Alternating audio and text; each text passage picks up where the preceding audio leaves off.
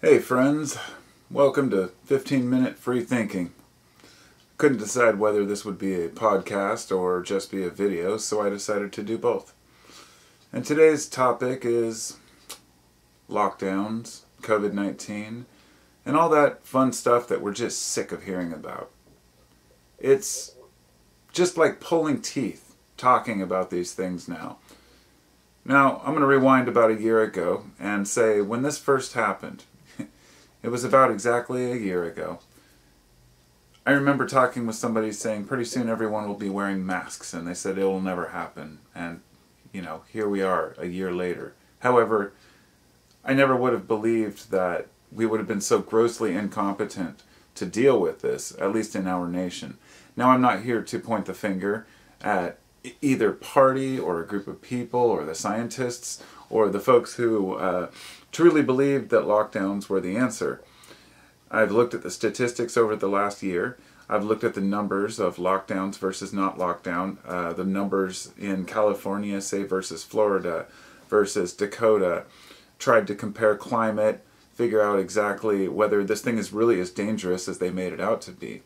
And I've come to the conclusion that it's indeed a real virus, of course, and I'm not going to even argue that point. But I remember back at the beginning when people were first saying that it's not even real, it's a hoax, and then eventually once it became real, they'd say it's just not as dangerous as it could be. At a certain point, you have to be able to agree with people who say, all right, we've gone too far. In other words, when this first happened at the very beginning, and they said, well, we're just going to lock down for a few weeks. My thought was this if we can actually lock down for a few weeks, uh, the government can get tests together, start working on um, isolating cases, uh, doing a tracing system, whatever it might take in order for us to get over this. And then, on top of that, make sure that the people are taken care of financially in the meantime. Then, after a month or so, we could say, okay, let's get back to work. Let's get back to business.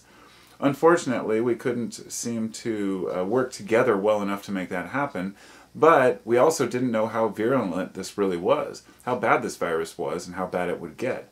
And the number one thing we have to remember is in the beginning, it wasn't about stopping it or stopping deaths as much as not overloading or, or overburdening the healthcare system. So we did that. And we found out that the hospitals had plenty of room in the end. There were some cities and some areas where indeed they had to call in refrigerated trucks for morgues. And indeed, there are still a lot of people dying. In California, a few hundred people a day. But let's put, this in perspective. in one year, the average people amount of people who die from heart disease in this country alone is about 650,000. That's two thirds of a million people die from heart disease every year. And many of these uh, are preventable, things that we could have better diets, not smoke, take care of ourselves. But it's not considered an emergency, naturally. But And a lot of folks would say, well, we can't shut down the nation for that. No, of course not. But the amount of effort that has been put into locking us down and preventing people from opening their businesses during COVID uh, leads one to the conclusion, anyone who's paying attention, that yes, it's a real virus, and yes, there was a time when we were unsure and it may have been a threat, and it still is a threat. But also, yes, governments around the world are using this in order to dominate and control their populations.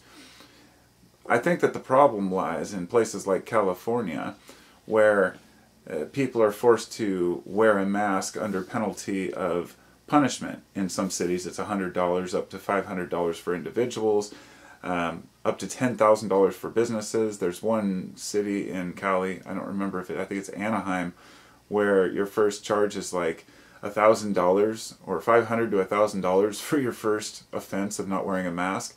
And this isn't just in places of business. This is anywhere in a public place.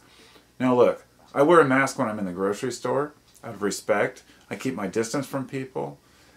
But I also have my limits. I'm not going to wear my mask in the parking lot. I'm not going to wear my mask walking down the street or jogging or running or biking or anything that has to do with outdoor activity. No, you will not see me wearing a mask at the park. It's absurd. But if I'm around a large group of people, just out of respect, I do believe that masks can help prevent if they are combined with proper simple procedures like hand washing and distancing, which have been shown and are I still do believe are beneficial to us. and I think we're going to see a lot of different behaviors over the many years. I don't want one of those behaviors to be just listening to what we're told. And even though I did support these some of these measures, I never was a proponent of just following blindly what the government tells me. All of the information that I came out with was based on my research from epidemiologists, virologists. I read that book called Spillover, which laid out many different past epidemics, how they've been dealt with, and um, this didn't catch me by surprise. I've been waiting my whole life for an epidemic to come like this, not like I was excited for it, but rather uh, aware that something like this would happen. However, uh, a simple, even if it is the highest they're saying, even if it's a 3% mortality rate, that's nothing. I mean, compared to some of these uh, viruses out there that can kill 60 to 100% of the patients that get it. But uh, this one just spreads more easily. There's a possibility that a huge, a huge, large portion of people have already been infected and just are unaware. It may have come and gone before we realized it. Who knows the full details? I can't look at it and say I know all the facts, but what I do know is this. Closing restaurants and schools uh, is not solving the problem. Even statistically, in places where they have lockdowns in place, they have found that uh, the rates are a very slightly different. We're talking within like a percentage or point or two. So, um, which includes new cases and deaths. So, you're not really, uh, the whole point was to not overwhelm the hospitals. So, we've had a year to put in place many measures which people who uh, have disorders or uh, immune disorders or uh, are afraid and don't want to go out, or people who are elderly and susceptible, they can stay at home. There, we have many different ways to do remote uh, work, remote discussions, and if people can choose whether or not that they want to go to work, choose whether or not they want to run their business, and choose whether or not they want to frequent those businesses. Having a restaurant open doesn't mean that the restaurant's forcing people to come in. These are people who have had a year to think about this and can come in on their own accord and choose if they want to sit down and eat and take a chance. When we're in the restaurant, you can take your mask off, eat your meal like any other normal person at the table, um, you know, people have just had it. They're tired. We're all sick of it. They call it COVID fatigue, but really it's just anything fatigue. Anytime we're constantly inundated and bombarded with do this, do that, but there's no recourse, no results, you know, eventually we just uh, get bored with it.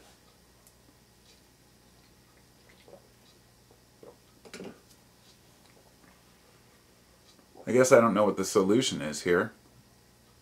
And I probably should have had some notes to talk about this because uh, last year when I first brought this up I had several different notes and ideas that I wanted to discuss but I guess what I really wanted to just say was I don't uh, I don't agree any longer with any types of lockdowns and uh, I think that it's important for us to get back to our normal state of affairs as soon as possible for the very sake of people's mental health. The fact that people are panicking because they need human interaction. I mean, I can't wait to get back to concerts. I'm really excited this summer to go back to concerts. And uh, that human interaction, it really is important. And fear really is a killer. And stress is a killer. And uh, it's just been too long we know what we're up against. We should be able to decide for ourselves. And uh, businesses should not be prevented from opening up. And I do believe that schools should open up as well. And that's those are my thoughts today on it. So let me know your thoughts. And uh, thanks for listening. And I'll talk to y'all next time.